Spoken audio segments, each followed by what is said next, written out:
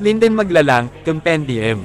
Like a book of lyric poetry, Maglalang's paintings do not exactly form a clear narrative sequence but instead hinge on vital moments of emotion.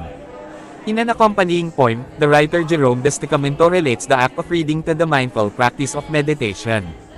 I read. To recenter. What has been moved to the sidelines. To pace. And link the scattered dots. It might take a while, for the work is vital. I read. To plan and consolidate my skills. To continue burning the flame. And finally get some sleep. Across Compendium, we come into contact with Maglalang's attempt to recenter and link the scattered dots, to pace and continue burning his flame. This effort to make sense of life's disarray can be derived from his titles which reference acts of premeditation and discernment. The latter term in particular feels especially apt in encompassing Maglalang's keen ability to interpret the labyrinthine currents of one's inner experience. October 6 hanggang 20, 2023.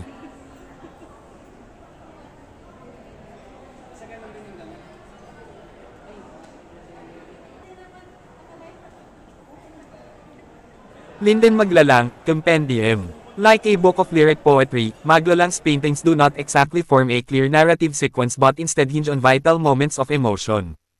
In an accompanying poem, the writer Jerome Destacamento relates the act of reading to the mindful practice of meditation. I read. To recenter. What has been moved to the sidelines.